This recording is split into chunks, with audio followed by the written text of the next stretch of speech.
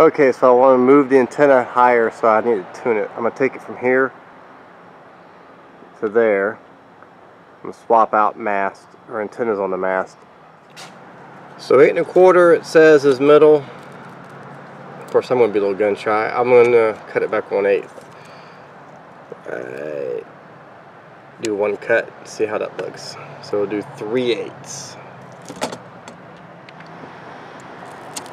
Oops. Okay. Three eighths. Okay, I don't know if you can see this very well.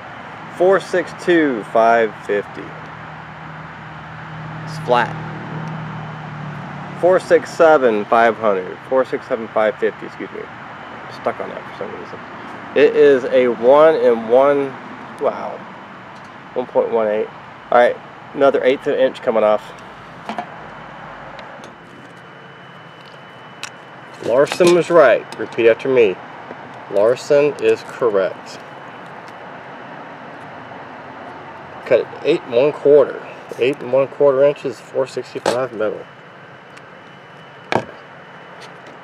Okay, here we go. Ah, my light's flickering. Eight and a quarter, eight and a quarter.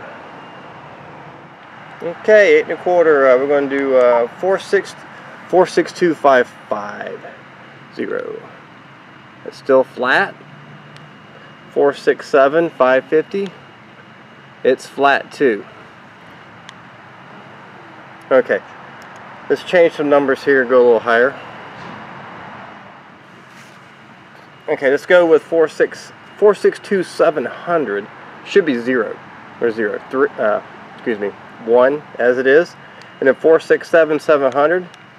467, 700. One. So we are flat all across GMRS just as the direction said. Could have saved myself some time but I always like to experiment so what the heck. Let's see what the light yeah the light just washes out on the screen. Oh there it is. Okay one more times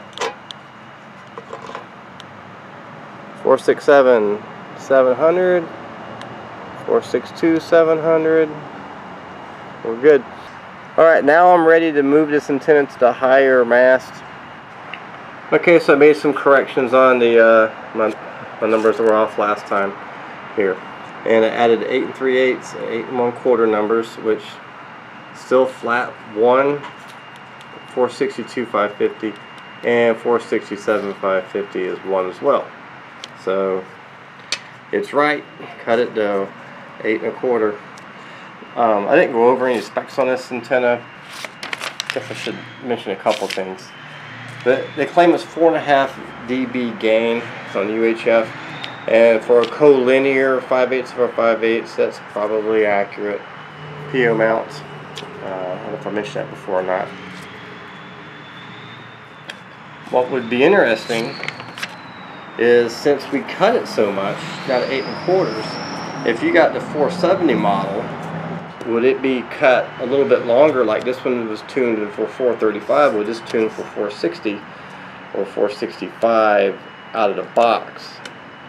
You would have shorter uh, ground plane elements and everything else to be a little bit smaller a little more compact but the performance should be good. But I don't know I don't know anybody that's got one so it's risky to buy that thinking that it will perform out of out of uh, out of the the claim specifications, but you never can tell. Anyway, this is my final tuning, cutting, and I will be getting it up on top of a taller mast, hopefully in next week or two, so I can hopefully get some more range out of this thing. Take care, have a good evening.